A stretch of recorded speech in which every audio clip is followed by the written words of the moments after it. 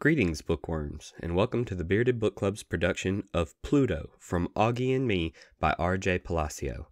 If you want to follow along in this and all of our productions, make sure you subscribe to the channel and turn on your notifications so you will be notified of all new videos as well as when we do our live shows. If you'd like to support Bearded Book Club, you could do so in two ways, both of which are listed in this video's description. Number one, you could become a Patreon and support us on a regular basis. Or number two, you can go to our Amazon wish list and send us a book as a one time donation. So without further ado, let us continue. 11:59 p.m. It was almost midnight by the time I went back to my room. Everything was exactly the way I had left it this morning. My bed was still unmade. My pajamas were jumbled up on the floor. My closet door was wide open.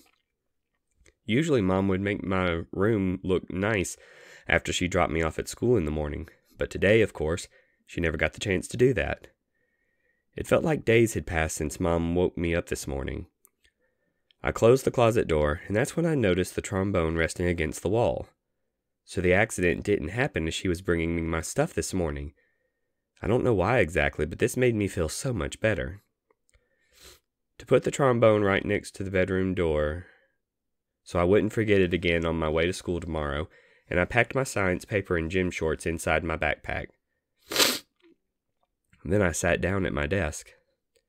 Without thinking anything more about it, I replied to Elijah's text. Hey Elijah, thanks for the offer to join your band, but I'm going to stick with John at the spring concert. Good luck with Seven Nation Army.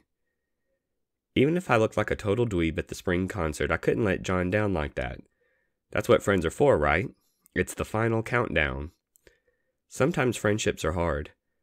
I put my pajamas on, brushed my teeth, and got into bed. Then I turned off the lamp on my nightstand. The stars on my ceiling were glowing bright neon green now, as they always did right after I turned the lights off. I turned over on my side and my eyes fell on a small star shaped green light on my floor. It was the star Mom had placed on my forehead this morning, which I had flicked across the room. I got out of bed, picked it up, and stuck it on my forehead. Then I got back in my bed and closed my eyes.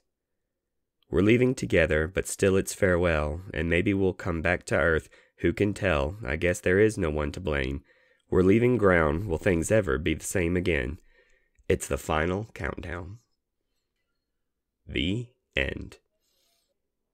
We hope you have enjoyed this production of Pluto from Auggie and Me by R.J. Palacio. If you enjoyed this book, book, please show the author support by buying a copy of this novel. A link where you can purchase a copy is listed in the description of this video and all of our videos. Until next story, bookworms, God bless you.